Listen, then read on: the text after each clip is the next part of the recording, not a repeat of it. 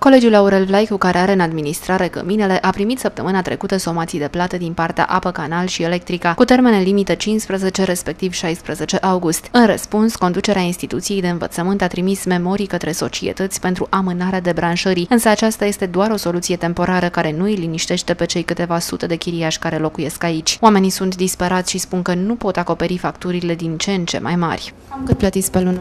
La 3 milioane și ceva, 4, acum când a venit după o lună, 10 milioane am plătit. Acum, Pe ce s-au dus 10 milioane? Pe ce bani ești? nu știu, întreținere și 5 milioane la 10 milioane jumate um, utilitățile întreținere, uh, alea, penalități 5 milioane. Mi-am pus apometrii și a zis nu luăm în considerare apometrile. Și ce ați făcut? Le-am scos.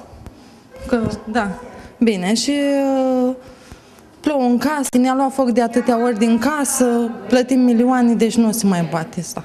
Cam cât uh, vă vine factura de cât trebuie să plătiți? Până 8 milioane, 9 milioane, penalități 5 milioane la 9 milioane, deci nu se mai poate asta.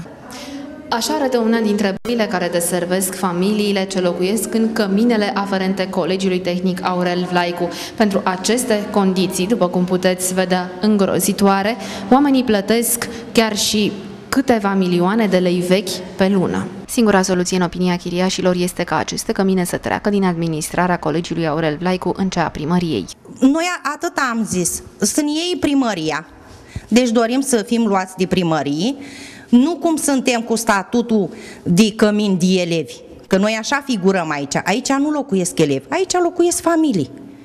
Deci să fim luați de primărie cu contracte pe 5 ani, să ne se facă individual la fiecare locatar la curent, cu apa termă, separat. Cât am consumat, atâta plătesc. Eu nu pot să suport uh, curent de 4 milioane, cum vine facturile puse, uh, umflate de ei, așa, uh, Luni 20 august, unitatea școlară ar trebui să găzduiască examenul de bacalaureat, ceea ce ar fi imposibil în condițiile în care apă, canal și electric asistează distribuția utilităților. Situația este una fără precedent. Rămâne de văzut dacă și fără soluții.